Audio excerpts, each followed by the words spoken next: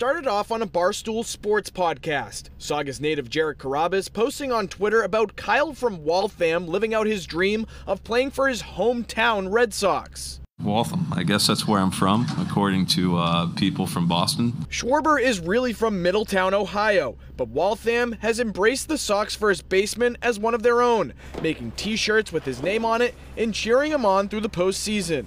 Gives you a lot of Waltham pride. Makes you, uh, you know, feel happy that you're, you're from Waltham. And tonight, Schwarber returned the favor, ordering more than two dozen pizzas from Shoppers Cafe on Moody Street. You know, we're not really built to throw out 25 pizzas at once, but we, we actually we had to make sure it happened. And sending them to Waltham's six fire stations and police department. The fact that we more or less adopted him and he adopted us back has been fantastic. We're just happy to have him and happy that he went out of his way to do something for us. Yeah. It was cool, and hopefully he keeps hitting home runs. And Waltham's Firefighters Union paying it forward, sending pizzas to Schwarber's actual hometown in Ohio, sharing the love for the Sox slugger. We never thought it would grow like this. Like we never thought it'd turn into pizzas from here, pizzas going to Ohio, you know.